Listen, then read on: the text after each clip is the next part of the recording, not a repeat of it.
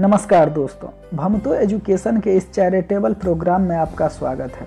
दोस्तों, ये जो घटना चक्र का जीएस पॉइंटर आता है, उसको मैं केवल आवाज़ दे रहा हूँ और इसके माध्यम से बायोलॉजी की श्रृंखला को आगे बढ़ाते हुए इस वीडियो में मैं क्लासिफिकेशन के बारे में अध्ययन करने जा रहे हैं। दोस्तों, क्लासिफिकेशन यानी वर्गीकी से संबंधित किसी भी प्रकार का आपको अगर डाउट होता है तो आप कमेंट के माध्यम से हमसे शेयर कर सकते हैं। दोस्तों, आइए शुरुआत करते हैं घटना चक्र जीएस पॉइंटर का क्लासिफिकेशन वाला जो यूनिट है चैप्टर है, उसको। दोस्तों, यहाँ पे पॉइंट के माध्यम से दिया हुआ है। पहला पॉइंट है कि जीव वैज्ञानिकों ने पादप जगत और प्राणी जगत की जातियों को बहुत बड़ी संख्या में ज्ञात किया है, ढूंढ निकाला है और पहचान भी लिया है। संख्या की दृष्टि से अब तक ढूंढे हुए और पहचाने हुए जीवों में सबसे अधिक संख्या किसकी है? तो वह है कीटों की। अगला पॉइंट एसर्सन यानी कथन और रीजन यानी कारण के रूप में दिया हुआ है। कथन यहाँ पे है अमीबा विभंजन द्वारा जनन करता है, जबकि कारण है, सभी एक कोशिकीय जीव अलैंगिक विधियों से जनन करते हैं। इसका उत्तर, दोनों सही है और इसका स्पष्टीकरण भी सही है, यानी ए और आर कथन और कारण दोनों सही है और कारण जो है असर्सन, यानी कथन का सही स्पष्टीकरण भी है। अगला पॉइंट है, गर्म रुधिर वाले जंतु वे होते हैं जो अपने शरीर के ताप क्रम को क्या करते हैं? हमेशा एक सा बनाए रखते हैं। अगला पॉइंट सही कथन दिया हुआ है, गोल कृमि में कोई परिसंचरण तंत्र नहीं होता है। बिल्कुल सही बात है। फिर इसी में यह पॉइंट है, अस्थिल, मछलियों में वाताशय आमतौर से विद्यमान होता है तथा उपास्थीसम, मछलियों में निषेचन आंतरिक होता है। बिल्कुल सही बात है। चलिए, अगला point starfish sawfish pipefish तथा गिटार फ़िश में से वह है जो मछली नहीं है।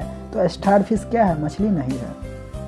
अगला पॉइंट है रजत मीन क्रेफिश जेली फ़िश तथा कैट फ़िश में से वह जो वास्तविक मछली है तो वास्तविक मछली कौन होता है? कैट फ़िश अगला पॉइंट है starfish jellyfish dogfish तथा समुद्री घोड़े में से वह जो वास्तविक रूप से मछली है तो उत्तर है समुद्री घोड़ा। यह क्या है?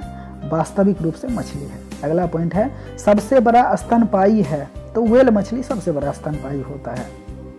अगला पॉइंट है वेल प्राणी होता है। क्या होता है? अस्थि स्तनपाई वर्ग का। अगला पॉइंट है सार्क स्केविड ऑक्टोपस तथा वेल में से स्तनपाई है। क्या है? वेल अगला पॉइंट है finback whale blue whale sperm whale तथा हम्प बैक वेल प्रजातियों में से दांत वाली वेलों में विशालतम होता है। तो स्पर्म वेल दांत वाली प्राणी में सबसे बड़ा होता है। अगला पॉइंट है एकीडना कंगारू से ही तथा वेल में से वह जो अंडा देता है। तो कौन अंडा देता है? जबकि सीधा बच्चा नहीं देता है तो वह है एकीडना सीधा अंडा ही देता है, बच्चा नहीं। अगला पॉइंट है, उड़ने वाला स्तनपाई है, कौन है? चमगादड़। अगला पॉइंट है, उड़ने वाले जीवों में से वह जो पक्षी वर्ग में नहीं आता है, उत्तर होगा चमगादड़। अगला पॉइंट समुद्री गाय, समुद्री घोड़ा, समुद्री सिंह में से स्तनधारी है तो समुद्री गाय और समुद्री सिंह दोनों के दोनों स्तनधारी है। अगला पॉइंट है, डॉल्फिन को वर्गीकृत किया जाता है, किसके अंतर्गत? स्तनी में। ठीक? अगला पॉइंट है सील होता है, क्या होता है? एक स्तन पाई। अगला पॉइंट है एम्फीबिया बताता है। क्या बताता है? जल एवं स्थल दोनों पर ही रह सकने वाले पशुओं को। अर्थात वे जीव जो जल एवं स्थल दोनों पे ज़िंदा रह सकता है, उसी को कहते हैं एम्फीबिया अगला पॉइंट है, वह गुण जो मनुष्य को अन्य सभी बानर गुणों से अलग करता है। कौन है? जानने की इच्छा प्रकट करना ही मनुष्य को बानर जैसे गुणों से पृथक करता है। अगला पॉइंट है, गीबन, गोरिला, लंगूर तथा ओरंग उटान में से कपी नहीं है। तो लंगूर क्या है? यह कपी नहीं होता है। अगला पॉइंट मानव सदृश लघुतम कपी है। तो गीबन मानव सदृश लघुतम कपी है। अगला पॉइंट गाय, बकरी, भेड़ तथा हिरण में से नील गाय आती है। तो नील गाय हिरन कुल में आती है। अगला पॉइंट ऑक्टोपस क्या है? एक मृदु कवची यानी मोलस्क है। अगला पॉइंट सबसे बड़ा अकशेरुकी है। तो एस्केविड क्या है? अकशेरुकी सबसे बड़ा होता है। अगला पॉइंट केकड़ा, बरूथी, बिच्छू तथा मकरी में से वह जीव जो अन्य तीन जीवों के वर्ग का नहीं है। तो केकड़ा क्या है? इन सबों से अलग है। अगला पॉइंट व्हाइट लेग हॉर्न एक किस्म है। किसका? कुक्कुटों का। अगला पॉइंट टीक और माइट वास्तव में होता है। क्या होता है? मकरी वंशी। अगला पॉइंट जुगनू होता है। एक क्या होता है? कीट होता है जुगनू, जो रात को चमकती रहता है। अगला पॉइंट खटमल, मकरी, घरेलू मक्खी तथा मच्छर में से वह जो कीट नहीं है तो मकरी क्या है? एक कीट नहीं है। अगला पॉइंट मकरी कीट से भिन्न होता है, क्योंकि मकरी में पाई जाती है क्या आठ टांगे मकरी में पाई जाती है? इसी कारण मकरी कीट से भिन्न होता है। अगला पॉइंट तितली, तिलचट्टा, मच्छर तथा मकरी में कीट नहीं है तो कौन कीट नहीं है? मकरी कीट नहीं है। अगला पॉइंट वह ग्रुप जिसके जंतु प्रायः रात्रिचल यानी नोक, नोकटेनल होता है तो कौन है वो? मच्छर, चमगादड़ और उल्लू। अगला पॉइंट है मच्छरों के बारे में निम्नलिखित कथनों पर विचार करना है और यह बताना है कि कौन सा कथन सही है। चलिए कथन हम पढ़ते हैं। पहला कथन है, केवल नर रक्त चूसता है। केवल नर रक्त चूसता है तो ये गलत है। केवल मादा रक्त चूसता है, ये सही है। मच्छर का जो मादा वाला जो प्राणी होता है, वो मच्छर क्या करती है? मादा मच्छर रक्त को चूसती है। अगला पॉइंट है, तीसरा, मादा पौधे का रस चूसती है, ये गलत है। मादा की अपेक्षा नर के डैन बड़े होते हैं, ये भी गलत है। फिर अगला पॉइंट है पांचवा, नर की अपेक्षा मादा के डैन बड़े होते हैं तो यहाँ पे ये सही है। तो यहाँ पे हम क्या देखें, दो पॉइंट सही है। पहला, केवल मादा रक्त चूसती है, ये सही है, और दूसरा नर की अपेक्षा मादा के डैन बड़े होते हैं। तो ये मच्छर का गुण है विशिष्टता है। चलिए अगला पॉइंट मोलाक, ऊँट, जेबरा तथा यूरोमैस्टिक्स में से वह प्राणी जो अपनी आंत में जल का संग्रहण कर लेता है। तो ऊँट क्या है? उस अपनी आंत में जल का संग्रहण कर लेता है। अगला पॉइंट है, सर्पों की विष ग्रंथियाँ की समांग है। तो क्या है? कसे रुकी प्राणियों की लार ग्रंथियों का। चलिए अगला पॉइंट देखते हैं। सांप के जहरीले विष दंत हो, विषदंत होते हैं, जो रूपांतरित रूप है किसका? तो जम्भिका दंत का रूपांतरित रूप है सांप का जहरीला विषदंत। अगला पॉइंट चट्टान पर उगने वाले पादप कहलाते हैं। क्या कहलाता है? शैलोदभिद अगला पॉइंट है, पैसन फ्लावर पादप घटपर्णी रात की रानी, यानी नाइट क्वीन तथा फ्लेम ऑफ़ द फॉरेस्ट में से कीटहारी पादप है। तो घटपर्णी क्या है? एक कीटहारी पादप है। अगला पॉइंट है घटपर्णी के स्तंभ, पत्ता, अनुपर्ण तथा पर्ण वृत्त भागों में से वह जो घट में रूपांतरित होता है तो पत्ता जो है वो घट में रूपांतरित हो जाता है। यहाँ पे सही सुमेलित है, ईस्ट, कैसीन, एलोवेरा और घटपर्णी ईस्ट किन्वर में जाएगा कैसीन, दुग्ध प्रोटीन एलोवेरा आवर्त, बीजी और घटपर्णी प्रकाश संश्लेषण। चलिए, अगला पॉइंट देखते हैं। निपेंथिस खासियाना घटपर्णी, जिसको बोलते हैं, नामक दुर्लभ एवं आपातीय पौधा पाया जाता है। कहाँ? मेघालय में। अगला पॉइंट पौधे का वह भाग जिससे हल्दी प्राप्त होता है। तो तना से हम हल्दी प्राप्त करते हैं। अगला पॉइंट है हल्दी के पौधे का खाने लायक हिस्सा होता है। क्या होता है? प्रकंद। अगला पॉइंट है, फलों का वह प्रकार जिसमें लीची को रखा जाता है और वह है क्या? ड्रूप अगला पॉइंट है, किसी, यदि किसी उभयलिंगी, पुष्प में पुमंग और जायंग अलग अलग समय पर परिपक्व होता है तो इस तथ्य को कहते हैं, क्या कहते हैं? भिन्न काल परिवक्ता अगला पॉइंट है आलू, शकरकंद, वंडा तथा जिमी कंद अधोभूमि उत्पादित सब्जियों में से एक रूपांतरित जड़ है। तो क्या है शकरकंद? अगला पॉइंट है, गन्ना, अदरक, आलू तथा शकरकंद में से वह जिसका संग्रह अंग तना नहीं है तो क्या है शकरकंद? अगला पॉइंट है सलजम अदरक, गाजर, शकरकंद में से वह जो तना है तो कौन है? अदरक एक तना है। देखिए, यहाँ पे सही सुमेलित है अगला पॉइंट प्रकंद स्तंभ कंद सल्क कंद धन कंद तो प्रकंद जाएगा अदरक स्तंभ कंद जाएगा आलू सल्क कंद मिलन होगा लहसुन से और धन कंद मिलाएँगे जीमी कंद सूरन से। अगला पॉइंट है, गाजर, शकरकंद, नारियल तथा आलू में से रूपांतरित स्तंभ है। तो क्या है? आलू रूपांतरित स्तंभ है। अगला पॉइंट है, आलू है एक, क्या होता है? आलू एक कंद होता है। अगला पॉइंट है जैव उर्वरक, प्रबाल मूल, लैकेन तथा कवक मूल में से वह जो कवकों और उच्चतर पादपों की जड़ों के बीच उपयोगी प्रकार्यक साहचर्य है। तो क्या है कवक मूलक? अगला पॉइंट है, फलीदार पादपों की जड़ों में उपस्थित गांठों में पाए जाने वाले नत्रजन स्थिरीकरण जीवाणु है। तो वो क्या है? सहजीवी है। अगला पॉइंट है, मटर पौधा होता है, क्या होता है? एक शाक अगला पॉइंट है, तना काट आमतौर से प्रयोग किया जाता है। तो किस, कैसे प्रयोग करता है? गन्ना प्रवर्धन के लिए हम तना काट आमतौर से प्रयोग करते हैं। मतलब कहने का मतलब क्या है ना? गन्ना को काट करके उसका विकास करवाया जाता है, खेत में रोपा जाता है। अगला पॉइंट है, लौंग क्या होता है? बंद कलियाँ होता है। अगला पॉइंट है, जीरा, लौंग, काली मिर्च तथा हल्दी में से वह जो पुष्प कलिका होता है तो कौन होता है? लौंग। अगला पॉइंट है, लौंग प्राप्त होता है। किससे? शुष्क पुष्प कली से लौंग प्राप्त होता है। अगला पॉइंट है, और सही सुमेलित है, अदरक, केसर, अफीम और सन। देखिए, अदरक मिलेगा रेजोम से, केसर मिलेगा पुष्प की वर्तिका एवं वर्तिकाग्र से, अफीम मिलेगा अफीम की डूडी से डूडी से, और सन मिलेगा तना से। अगला पॉइंट है यहाँ पे, केसर होता है सूखा मिश्रण। किसका केसर सूखा मिश्रण होता है? फूल के बीज बनाने वाले भागों का केसर सूखा मिश्रण होता है। अगला पॉइंट सही सुमेलित है यहाँ पे। अदरक, प्याज, आलू और नारियल। अदरक मिलेगा प्रकंद से, प्याज मिलेगा मांसल, पर्ण से, आलू मिलेगा रूपांतरित तना से और नारियल मिलेगा भ्रूण पोस्त से। अगला पॉइंट है, तना, बीज, जड़ तथा फल में से आलू खाने योग्य भाग होता है। किसका? आलू खाने भाग योग्य होता है तना का।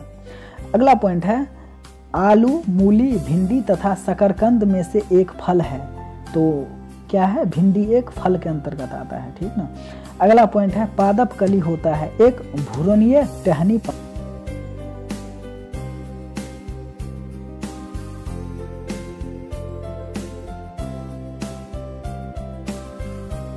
अगला पॉइंट है, कर्क प्राप्त होता है, किससे कर्क प्राप्त होता है? कवय, कर्स सुबर नामक पेड़ से कर्क प्राप्त होता है। अगला पॉइंट है, लहसुन की अभिलाक्षणिक गंध का कारण है। तो सल्फ़र यौगिक क्या होता है? लहसुन में गंध का कारण बनता है। अगला पॉइंट है, प्याजों के छिलके उतारने पर आँसू आते हैं क्योंकि प्याज निष्कासित करता है। क्या निष्कासित करता है? कौन सा अम्ल? तो सर, सल्फेनिक अम्ल प्याज निकलता है और यही कारण है कि काटते हैं तो आँख से आँसू आ जाता है। अगला पॉइंट है जीवन चक्र की दृष्टि से पौधे का सबसे महत्वपूर्ण अंग होता है। तो कौन होता है? पुष्प। अगला पॉइंट है, मिर्च की तीक्ष्णता का कारण है। तो कैप्सेसिन नामक जो उपस्थिति उसमें होता है केमिकल्स उसके कारण मिर्च की तीखापन होता है। अगला पॉइंट है, लाल मिर्च तीखी होती है क्योंकि उसमें उपस्थित होता है, कैप्सेसिन ही रहता है, इसी कारण लाल मिर्च जो है वो तीखा होता है। अगला पॉइंट है, रेशम का कीड़ा यानी सिल्क वार्म अपने जीवन चक्र के जिस चरण में वाणिज्यिक तंतु यानी फाइबर ऑफ़ कॉमर्स पैदा करता है, वह है क्या है? कोशित यानी पुपा है। अगला पॉइंट है, रेशम कीट जिस पर पनपता है, वो है मतलब रेशम कीट कहाँ पनपता है? सहतूत की पत्तियों पर।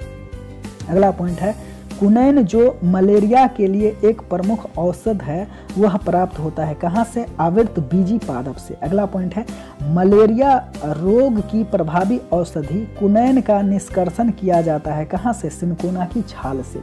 अगला पॉइंट है, मलेरिया निदान हेतु आर टी थर नाम की औषधि प्राप्त होता है कहाँ से? बीजीय पादप से। आर आरतीथर नाम की औषध मलेरिया निदान हेतु उपयोग किया जाता है और ये मिलता है विजय पादप से। अगला पॉइंट है, सिनकोना की छाल से प्राप्त औषधि को मलेरिया के उपचार के लिए प्रयुक्त किया जाता है, जिस कृत्रिम औषधि ने इस प्राकृतिक उत्पाद को प्रतिस्थापित किया वह है कौन? क्लोरोक्विन।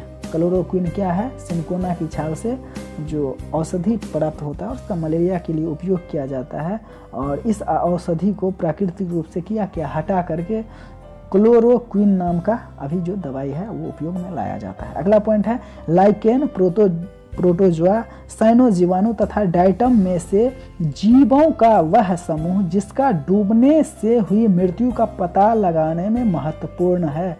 तो क्या है डाइटम का महत्व यहाँ पे है मृत्यु का पता लगाने के लिए? अगला पॉइंट है, सहतूत का फल है। तो क्या है?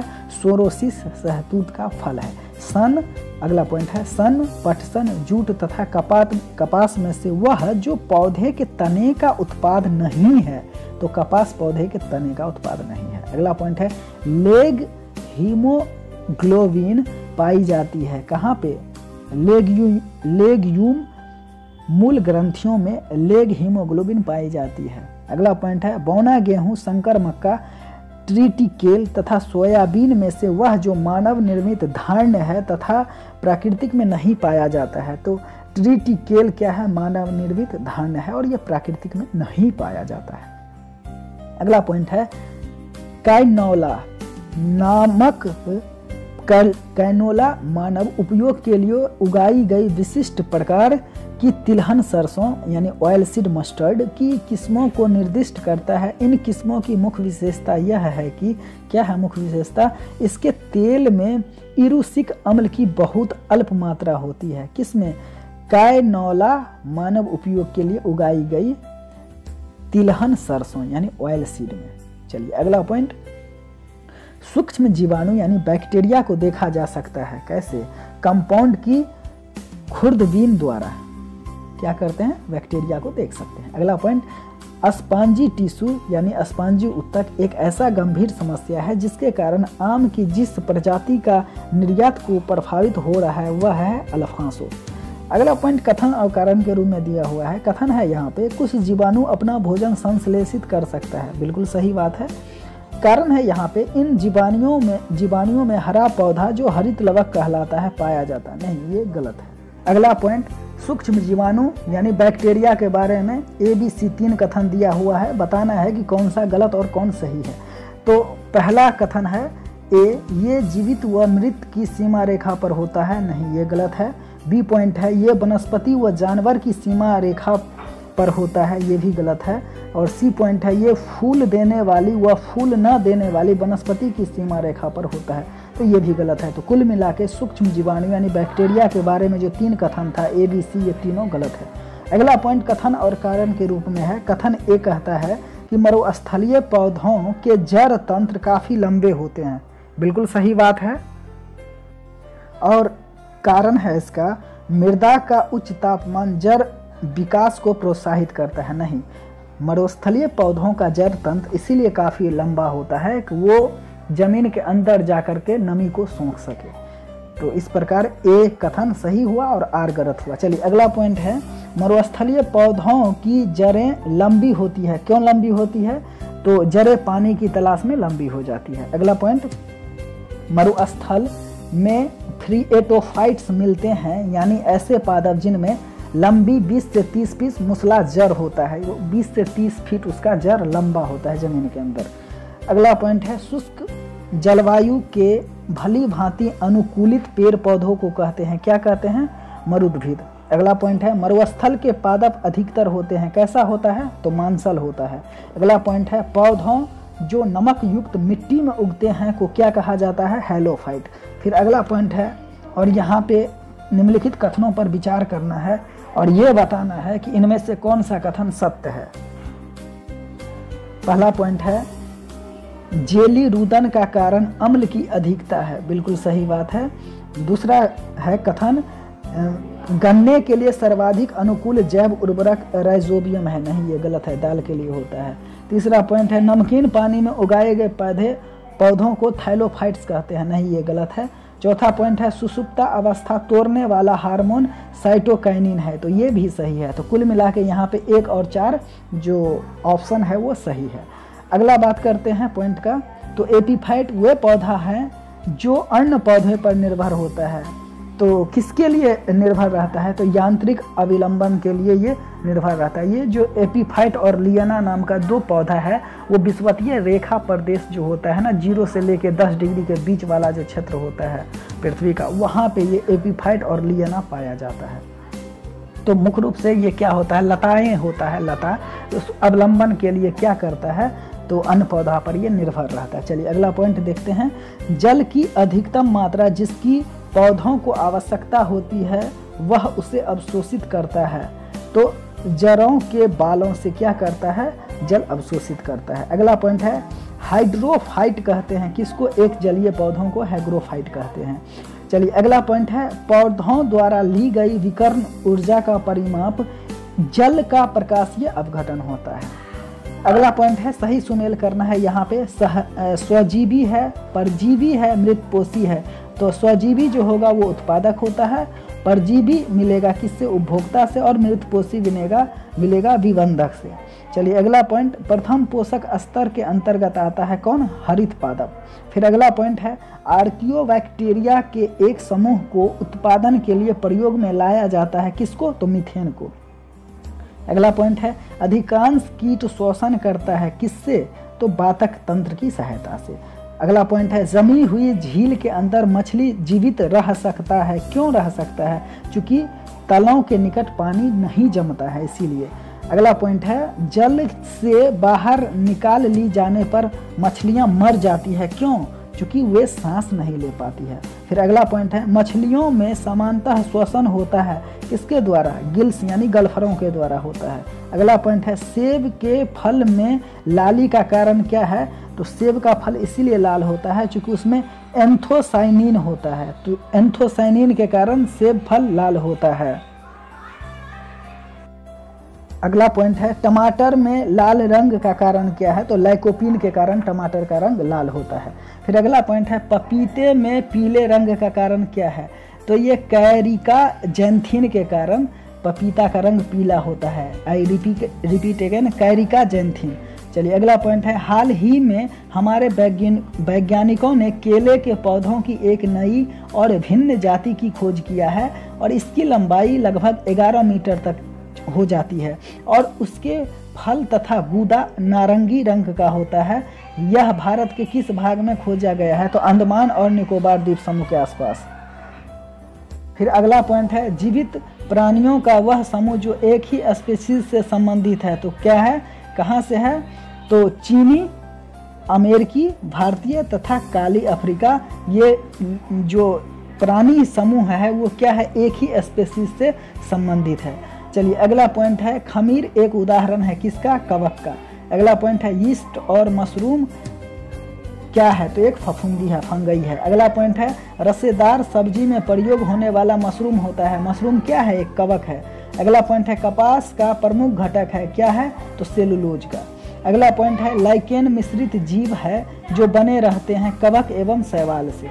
अगला पॉइंट है लाइकेन जो एक नग्न चट्टान पर भी पारिस्थितिकी अनुक्रम को प्रारंभ करने में सक्षम है। वास्तव में सहजीवी साहचर्य है। किसका सह, सहजीवी साहचर्य है? तो सहवाल और कबकों का अगला पॉइंट है, नेस्का पीन प्राप्त होता है किससे? पोस्ता यानी कॉफ़ी से। अगला पॉइंट है, पोस्ता यानी पॉपी से, ठीक? Note coffee poppy. अगला पॉइंट है हेरोइन प्राप्त होता है अफीम पोस्ता से। फिर अगला पॉइंट है मॉर्फिन प्राप्त होता है किससे? फल से। फिर अगला पॉइंट है, अफीम प्राप्त किया जाता है बिना पके फल के लाइटेक्स से। फिर अगला पॉइंट है, अफीम पोस्ता प्राप्त होता है किससे? पौधों के अधपके फल से। फिर अगला और अंतिम पॉइंट है इस चैप्टर का, अफीम का मुख्य अवयव है। तो अफीम का मुख्य अवयव क्या होता है? मॉर्फिन होता है। दोस्तों, ये था मेरा घटना चक्र जीएस पॉइंटर का जो वर्गीकरण मतलब क्लासिफिकेशन से संबंधित होल एंड सोल पूरा का पूरा। आप भी इसमें ऐड करिए और लगे रहिए जब तक कि आप सफल न हो जाएँ। इन्हीं सभी शुभकामनाओं के साथ आज के लिए बस इतना ही। धन्यवाद।